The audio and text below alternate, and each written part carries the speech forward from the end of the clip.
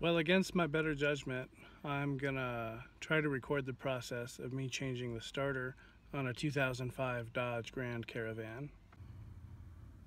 This Caravan has 131,536 on it. So hopefully, well not necessarily hopefully, but I imagine this is the original starter. We'll see. I got, you know, th this van just irritates the crap out of me. But the one thing I can say about this van the one thing I can say about this van is that it did give us warning when the starter was going to go out. It started doing it kind of intermittently. You could let it sit for a little while and then it would start back up. Unfortunately with this one it doesn't seem like beating on the starter with a hammer does any good at all because it won't change uh, you know it deciding it's going to start or not. First challenge is going to see if we can push this thing from where it sits under the carport. I'm also going to preface this by saying I've watched some videos of other people do this and some of them tend to struggle with I guess the topmost bolt on the starter and they end up removing the radiator fans and a couple other things from the front and hopefully I don't have to do that but if I do I'll, I'll show you guys of course. Almost forgot I want to show you guys what it's doing when you do try to start it. I haven't tried it yet but I'm going to try it right now.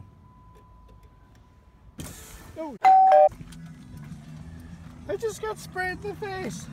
How did that even happen? I think I leaned and pushed the friggin' button. Oh my god. I got sprayed in the face by windshield washer stuff. Holy crap. Alright, well I'm gonna I'm gonna make it make that noise anyway. It just kinda clicks. You probably can't tell. I had a witness too. I'm gonna have to go wash my face. Be right back. Okay, so I've got it up on jack stands. Not very high because my jack is cheap and it doesn't go up very high. Give me enough room to get under here. First thing you got to do, of course, is you're going to disconnect the battery. And, you know, before you even start disconnecting things under here, you don't want to touch live wires after all. So we're going under. We're laying over on the driver's side. This is the transmission pan, of course. I changed all that stuff earlier, but give you a point of reference, there's the front motor mount. There's the oil filter, which is hanging straight down. It's the best design ever, by the way. So this is still the front of the front of the vehicle. Starters right here. It's this thing. This is one of the wires going to it. This is one of the connectors that you're going to have to undo. And then of course this is going to reconnect to the new one. This is going to clip onto the new one. So the challenging part now is getting the, the darn bolts off. All right. Here's the new one, folks. Much cleaner. Looks pretty much the same, right? right? So it looks like the bolts to take it off are actually pretty little. The first thing we're gonna do is take off this nut for this wire and unclip this. And then we'll go after this first uh, bolt. Excuse me for the lighting, but I'm kind of pointing at it. You can see right there. It's just right there. Yes.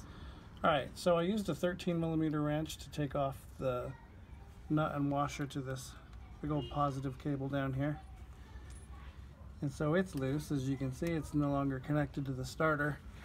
And the only other electrical thing that we're gonna go after is that little clippy harness thing that I showed you guys a minute ago. See how we can get it to let go. I think I'm gonna need a screwdriver.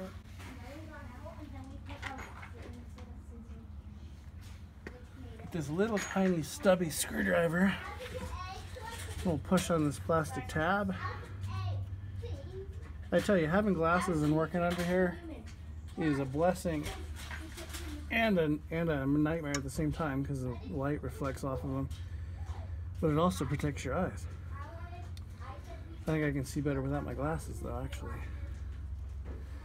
Pull the tab, slip off the harness, maybe. Everything's moving so nicely, like I just did it.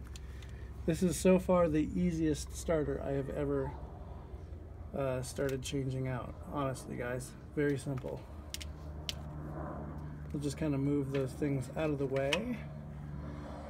And it gives us easy access to our first uh, bolt to start taking the starter off. And is Still too small? So all of this is probably going to get cut because all I want them to know about is what size it really is. Alright, let's try my 8 again. So don't make the mistake I just made. So I'm under here trying to find the bolt that fits, or a, a socket that fits. And I'm looking at the starter from passenger side. And I was looking at this bolt here on the passenger side. See where my finger is? That's tiny. I'm looking at the wrong end. So you go driver's side. And driver's side here, where I'm pointing at, driver's side is where the bolt is to undo the starter. So I messed up. I've been kind of retardifying this. But again, where's my finger in the camera? That's the hardest part here is reference. but they're 15 millimeter bolts to remove the starter. So I have to go buy those. Uh, so I'll be back after I do that. All right, everybody. So I just got back from AutoZone. Um, this, I just needed one of those. So pretend I didn't get that. Got a 15 millimeter crescent wrench, a 15 millimeter deep socket for that top bolt, just because I've heard people say that they that this is just helpful. And then I got a breaker bar in case uh, that top bolt's really sticky like uh, what I've heard it is. Well, so far the job has been really easy compared to what I thought it would be, or this other starter that I did on a Mercury Topaz about six months back or so. Um, but so far all of the bolts have came loose easy. The little electrical clips came off easy without breaking them. Usually I have a thing with electrical stuff where I like to break the plastic doodads on them. Uh, but this lower 15 millimeter bolt on the starter, this lower one, just broke loose really easy. So I don't think I'm going to need that breaker bar, but if I do, it might save my butt from having to take the rad fans off of this thing like a lot of others have done. Oh, I hear it. Removed. Lower starter bolt. Now time for the top one, which I can see from right here. It's got a negative, I think it's a negative uh, battery thing going to it. So yeah, there's like not there's not a lot of room. And it's also a bolt that sticks out a little bit from the nut, so that's why everybody's recommending a deep socket. I'm gonna see if I can get my wrench around it. And there's just some darkness. it's hard to see. You want a light? I can't really get it. It's in a heck of a spot. I can grab the light though. I might be able to get it actually. I just went over the top of it right now. So my wrench is hanging on it. I'm just gonna see if I can find a way to turn it. So we're over it. Just having a hard time actually getting it over the I have not had to remove any radiators or anything, radiator fans or anything like that. If you come down here and take a look, this bolt is the engine right there and then right underneath it right there where my flip off fingers nudging that's the other bolt so on it you need a 13 millimeter wrench and then you remove this off of it and then that little negative electrical lead comes off. And then underneath that you've got the 15 millimeter. So now I'm going to stick my breaker bar down here with my 15 millimeter extension and go after this topmost bolt on the starter.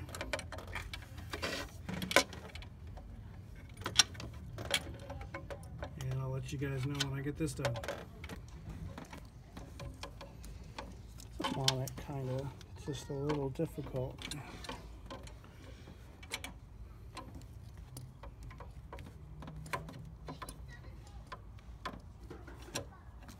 It's slipping. It's weird. So while editing this, I decided to throw in this little piece here that we, we didn't film the next little part because I was getting a little annoyed that I had to remove the radiator fans after all. And I knew that would add, you know, like an extra 15 minutes or so to the job. But I just wanted to say I struggled far too long in here trying to make my breaker bar and my 15 millimeter, you know, longer deep socket work and it just it wasn't going to work you really do have to remove the radiator fans because there's not enough working space to to get the deep socket on it and to actually turn it and make it work to, to get it off. So just pull out the fans. You know, there's some screws and stuff on this plastic uh, that you got to take out. And then I just removed the, the metal brace that goes above the radiator. I didn't take off the uh, cable for the hood latch. I just let it kind of hang there on the ground and that worked fine. Save you some time. And then the radiator fans came up and out. I didn't even have to remove the radiator hose. I just kind of worked around it. Hmm. And then once pulling the fans out, there's so much room in front of that engine that it made it very easy. So I got the wrench on there. I removed that top bolt. It wasn't very sticky for me at all. Uh, I think part of the reason why is because this isn't the first time the starter's been changed because it had a it had a Napa starter on it. Unless they came that way from the factory, I think somebody did this job before. So I just wanted to uh, to stick that part in here before you watch the next part.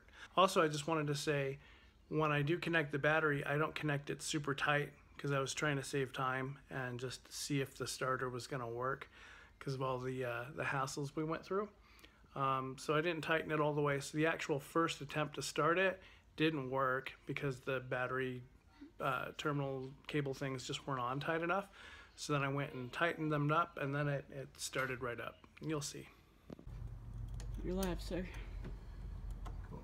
All right, so we got everything back together again. It turned out I did have to take this whole thing apart in order to wrench that top bolt off. So it was a lot of work. But the point that we're at now is we got the starter all the way back in. Uh, it's so much easier without the rad fans in it. Uh, so now we got everything back together again. Really eager to see if uh, if it starts. So here we go.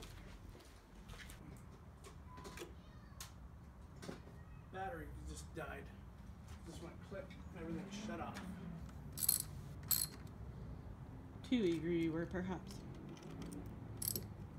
Yeah, this thing just sparked up a little, so I don't think it was connected all the way. I didn't tighten these up all the way for the sake of just seeing if it'll start. Alright, I will try it again. Yep, lights are back on.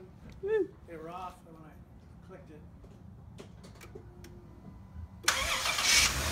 Woo! It's all fixed and it's a lot of work. Don't let anybody fool you. It's time consuming, but it's actually easy.